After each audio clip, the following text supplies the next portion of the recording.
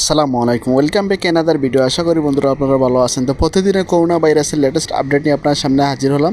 সেজন্য ভিডিওটি সম্পূর্ণ দেখুন। আর আপনি যদি আমার চ্যানেল নতুন হয়ে থাকেন, অবশ্যই আমাদের চ্যানেলটি সাবস্ক্রাইব করে আমাদের সাথে থাকবেন।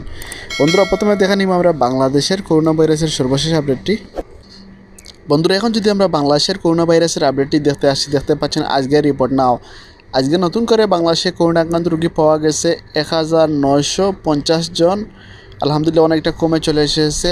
এ নিয়ে বাংলাদেশের সর্বমোট করোনা আক্রান্ত রোগীর সংখ্যা দাঁড়িয়েছে তিন লক্ষ চোদ্দ হাজার নয়শো ছয়চল্লিশ জন এবং আজকে নতুন করে মারা গেছে পঁয়ত্রিশ জন। এ নিয়ে বাংলাদেশের সর্বমোট করোনা আক্রান্ত রোগী মারা গেছে চার হাজার তিনশো ষোলো জন এবং টোটাল রিকভারের সংখ্যা দাঁড়িয়েছে দুই লক্ষ আট হাজার একশো সাতাত্তর জন। তবে এখনও পর্যন্ত বাংলাদেশে করোনাকান্ত রোগী অ্যাক্টিভ কেস রয়েছে।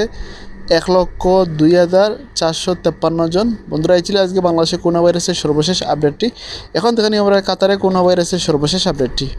চলেছে মিনিস্টার অফ পাবলিক হেলথ কাতারের যে ওয়েবসাইট আছে, নিচের দিকে আসলে দেখতে পারেন, আজকে একই সেপ্টেম্বর আজকে নতুন করে কাতারে কোন্ডাকান্ত রোগী পাওয়া গেছে দুইশো ষোলো জন।